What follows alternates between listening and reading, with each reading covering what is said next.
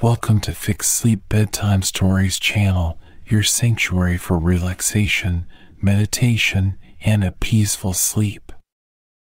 Immerse yourself in the soothing embrace of sleep inducing tales, carefully crafted to transport you to mysterious lands. Let the gentle rain and serene sounds of nature accompany you on this journey to relaxation. Say goodbye to restless nights and welcome the embrace of a restful sleep with our magical sleep stories. So, let the tale begin.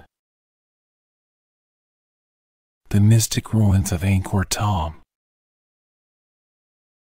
Chapter 1 Echoes of the Past.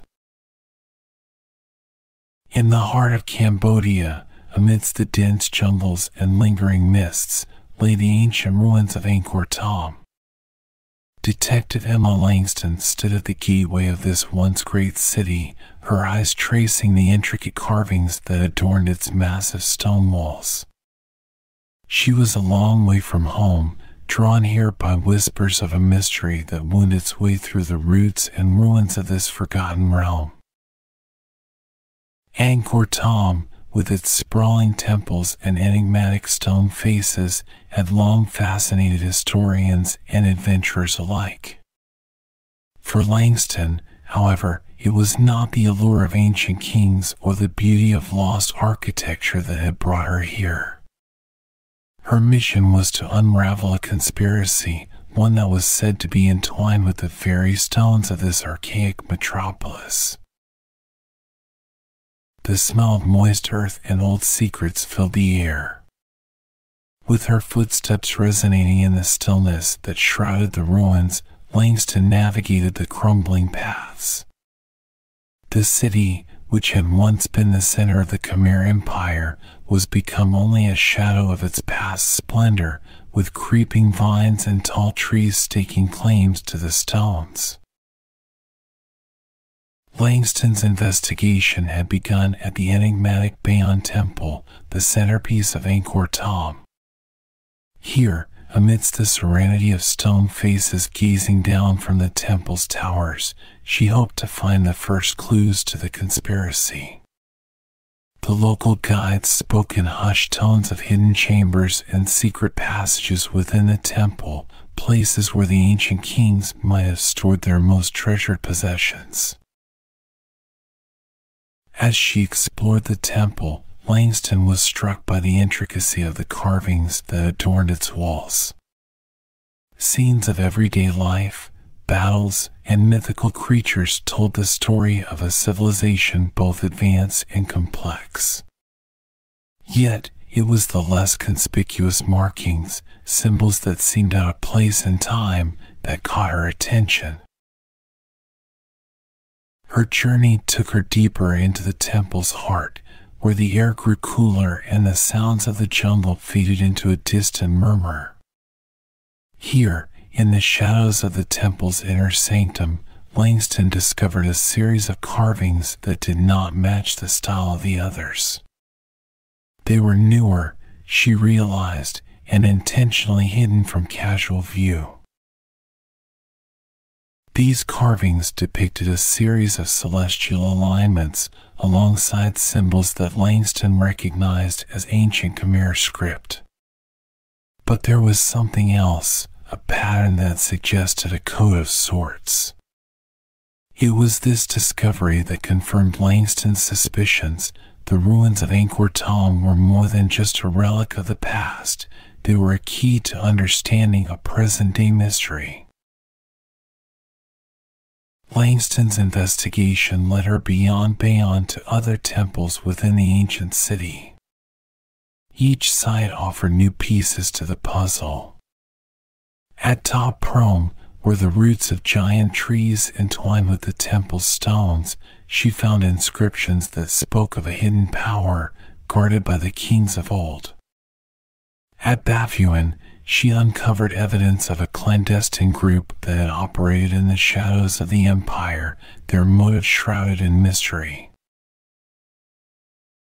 But it was at the Terrace of the Elephants where Langston made a crucial discovery. Hidden among the carvings of parading animals and warriors, she found a series of symbols that matched those in the Bayon temple. These symbols, she realized, were not just decorative, they were a map, a guide to something hidden deep within the ruins. As Langston pieced together the clues, she became aware of the danger that surrounded her. She was not the only one interested in the secrets of Angkor Thom. Shadows moved in the periphery of her vision, and she felt the weight of unseen eyes upon her. Someone was watching, waiting for her to lead them to whatever treasure lay hidden in the ruins. Langston knew she had to tread carefully. The conspiracy she was unraveling was larger and more dangerous than she had anticipated.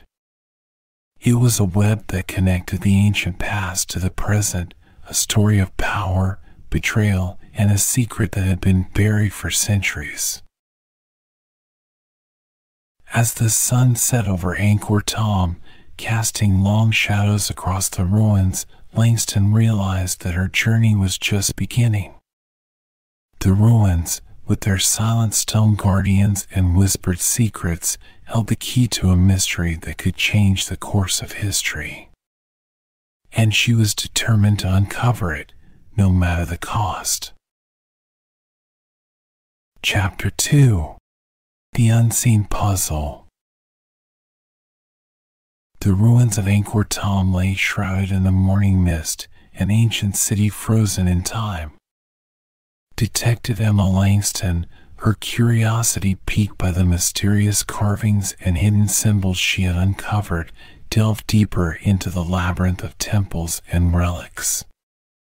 Each structure, each statue in this vast archaeological treasure trove held stories from a past that seemed to reach out to her, beckoning her to uncover its secrets. The mystery that Langston sought to unravel was not just hidden in the stones, but also woven into the fabric of history and legend that surrounded Angkor Thom.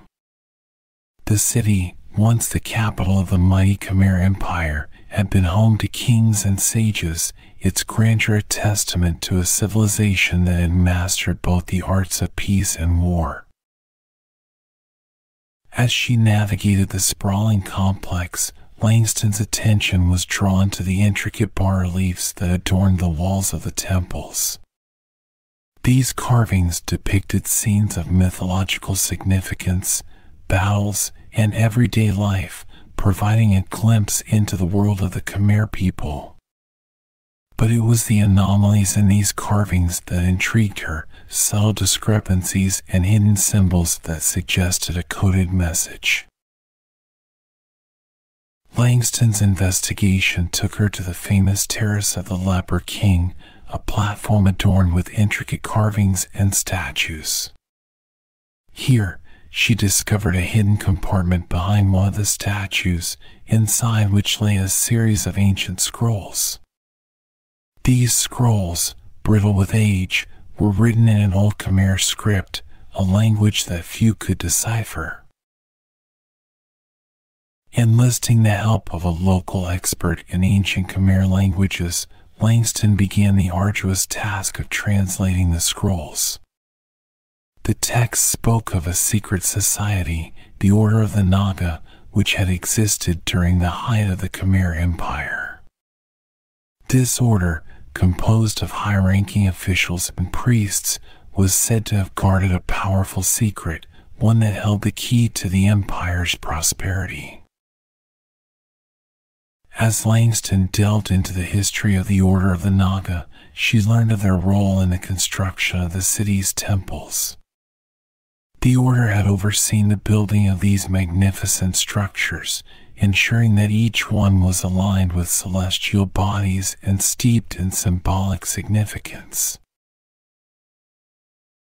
The investigation led Langston to the iconic Bayon Temple, the very heart of Angkor Thom. The temple, known for its serene stone faces, was a masterpiece of architectural design and spiritual symbolism.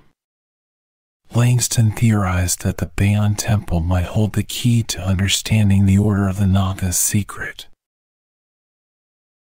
Her exploration of the Bayon revealed hidden passageways and chambers that were not part of the standard tourist routes. These passages, long forgotten, were lined with inscriptions and bas reliefs that told a different story from those on the temple's exterior. The deeper Langston ventured, the more she felt as though she was being drawn into a world that had remained hidden for centuries. In one of these hidden chambers, Langston made a startling discovery a bas relief depicting a ritual being performed by members of the Order of the Naga. The ritual centered around a mysterious artifact, a gemstone that was said to harness the power of the sun and the moon. This discovery confirmed Langston's suspicions that the conspiracy she was uncovering was rooted in the ancient past. The Order of the Naga had possessed knowledge and power that had been lost to time, and now someone was trying to rediscover it. Langston's quest for answers brought her to the outskirts of Angkor Thom, to the Temple of Ta Prohm.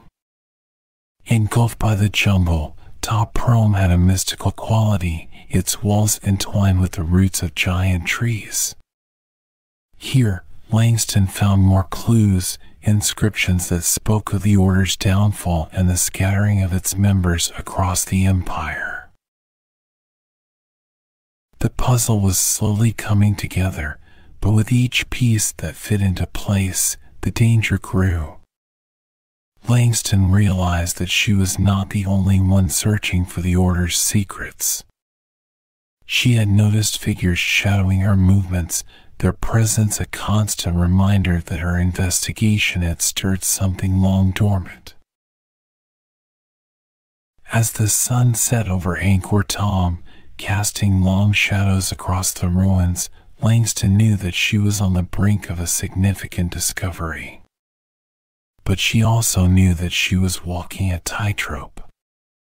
The secrets of the Order of the Naga were not just of historical significance, they were powerful enough to change the course of history.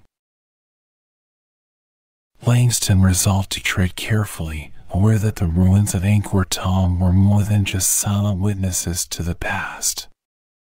They were guardians of a secret that had the power to awaken a forgotten era, an era of gods, kings, and hidden powers.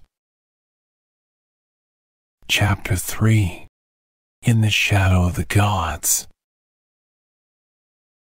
The dense canopy of the Cambodian jungle seemed to press in on Detective Emma Langston as she ventured deeper into the ancient ruins of Angkor Thom.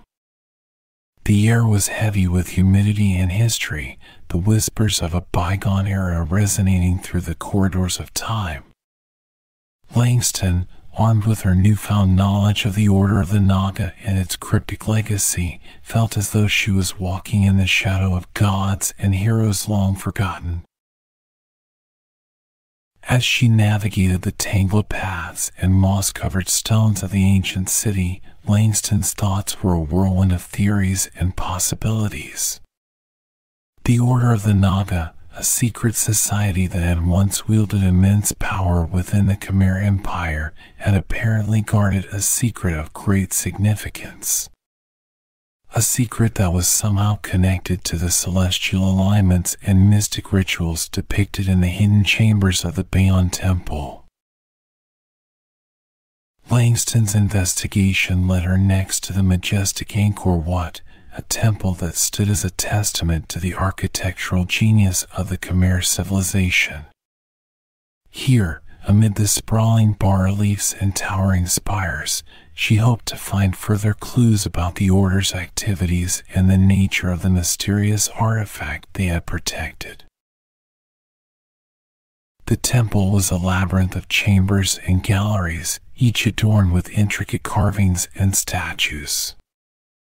Langston spent days meticulously examining these works of art, searching for any reference to the order or the gemstone. Her efforts were rewarded when she discovered a series of carvings in a secluded part of the temple, away from the prying eyes of tourists and scholars.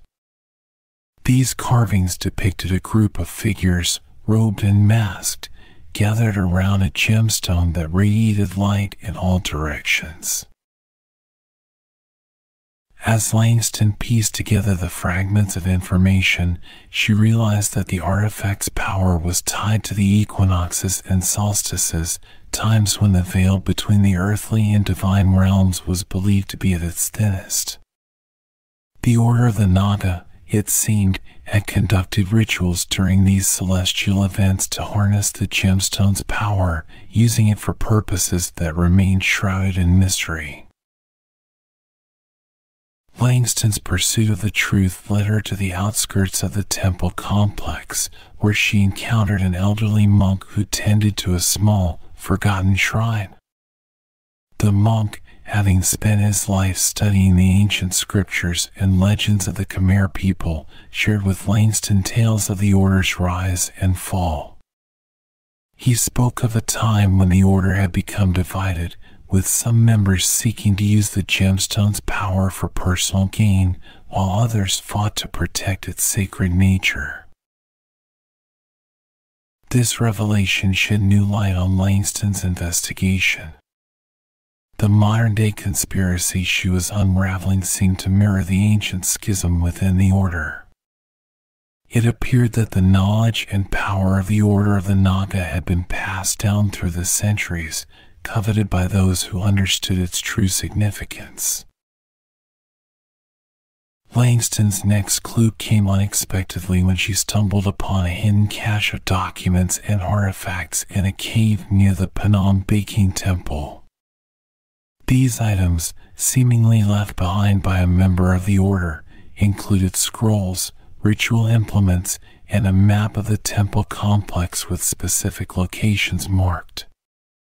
Among these items was a journal, its pages filled with cryptic entries and references to a final ritual that would unlock the full potential of the gemstone.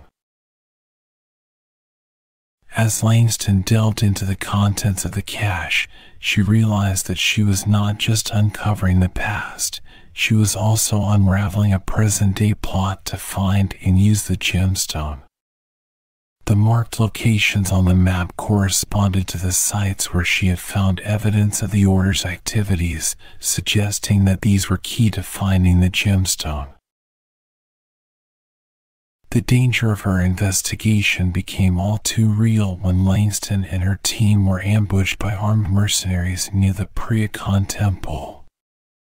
This encounter was a stark reminder that the conspirators were always one step behind, watching her every move.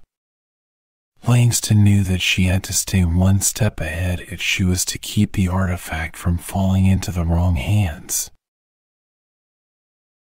Despite the risks, Langston's resolve only strengthened. She had come to realize that the ancient power the Order of the Naga had guarded was not just a relic of the past, but a living force that could shape the future.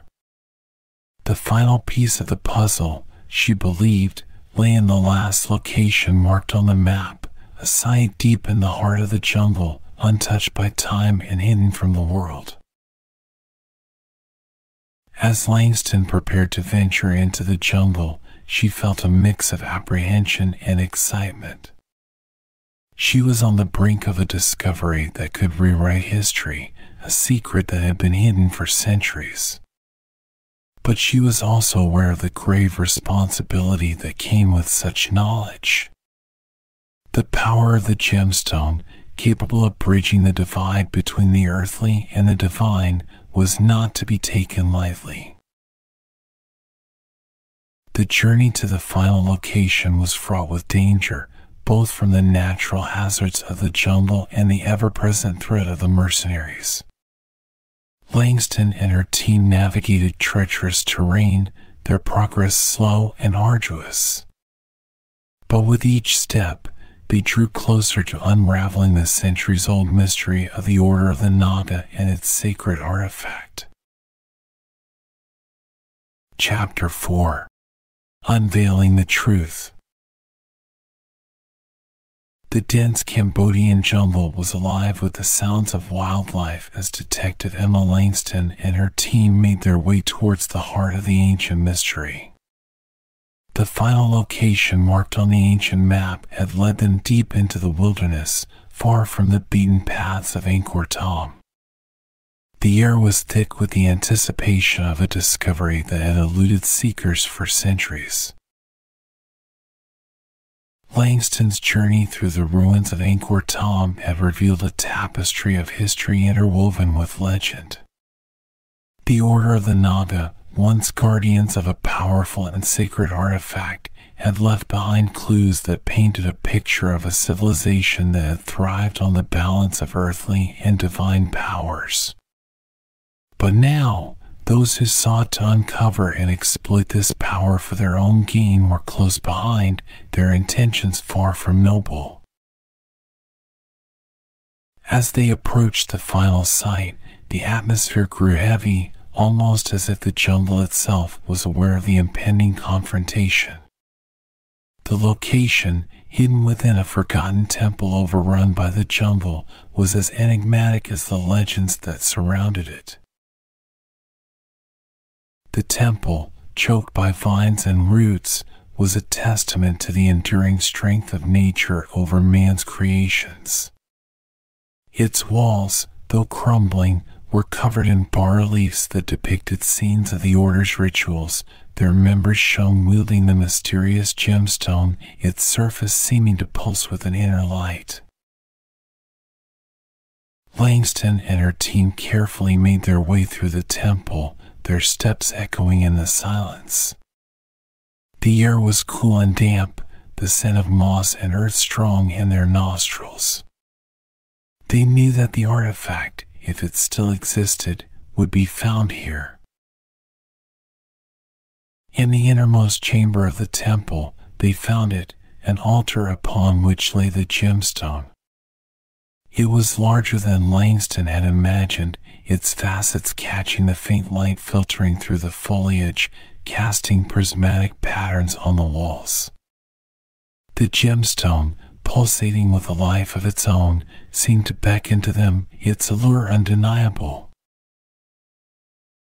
But before Langston could move closer, they were ambushed. The mercenaries, hired by a shadowy figure who sought to control the gemstone's power, had followed them. A tense standoff ensued, the chamber becoming a battleground between those who sought to protect the artifact and those who desired its power.